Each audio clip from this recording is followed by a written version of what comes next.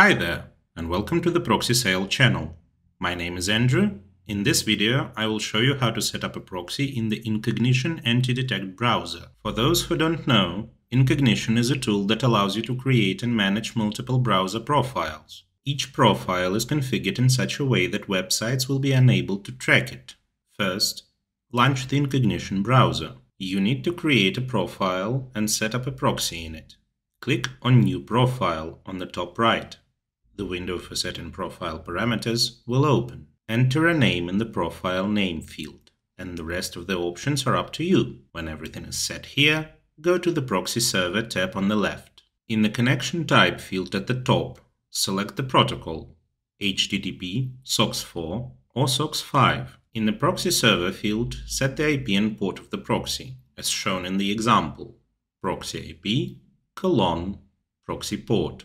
If you are going to use a free proxy, then you don't need to enter anything else, but only check the proxy for performance. To do this, click on Check Proxy Server below. The red message appears after the test. This means that the proxy is not working and you cannot use it. This happens when you use unreliable free proxies.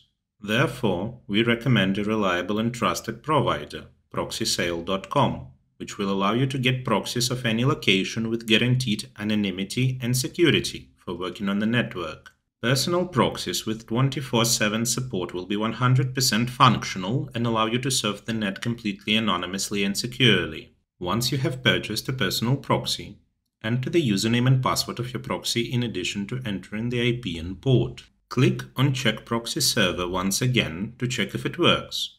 As you can see, now the green message is displayed which means that the proxy is operational and you can use it in the Incogniton browser. Click on Create Profile on the right to finish creating a profile. As you can see, the created profile with the configured proxy is displayed in the browser, and now you can work with it. If you need to configure more profiles and set new proxies, just repeat the procedure. Don't forget to hit the like and subscribe buttons. See you in the next video.